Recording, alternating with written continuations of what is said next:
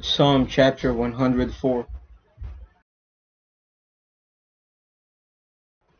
Bless the Lord, O my soul.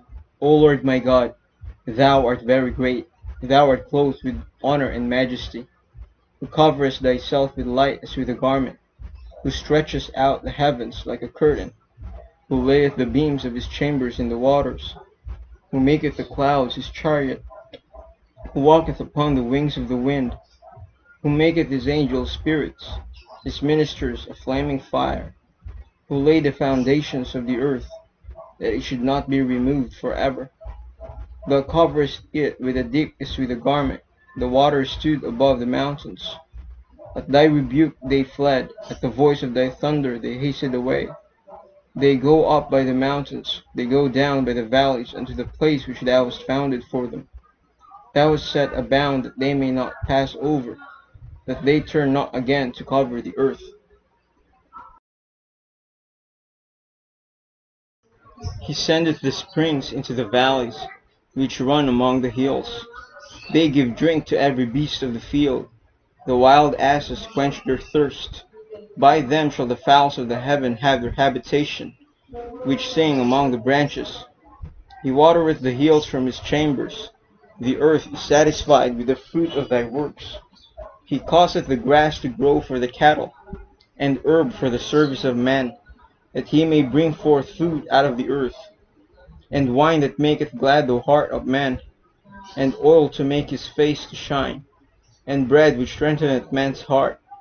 The trees of the Lord are full of sap, the cedars of Lebanon which he hath planted, where the birds make their nests. As for the stork, the fir trees are her house. The high hills are a refuge for the wild goats, and the rocks for the conies. He appointed the moon for seasons. The sun knoweth his going down. Thou makest darkness, and it is night, wherein all the beasts of the forest do creep forth. The young lions roar after their prey, and seek their meat from God. The sun ariseth, they gather themselves together, and lay them down in their dens. Man goeth forth unto his work and to his labor until the evening. O Lord, how manifold are thy works! In wisdom hast thou made them all. The earth is full of thy riches. So is this great and wide sea, wherein are things creeping innumerable, both small and great beasts. There go the ships. There is that Leviathan, whom thou hast made to play therein. This wait all upon thee, that thou mayest give them their meat in due season.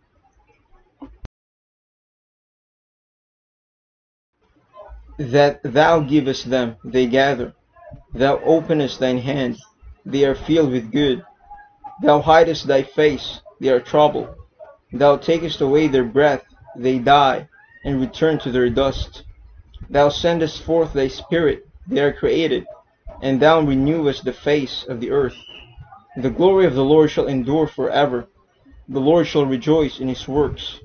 He looketh on the earth, and it trembleth he toucheth the hills, and they smoke. I will sing unto the Lord as long as I live. I will sing praise to my God while I have my being.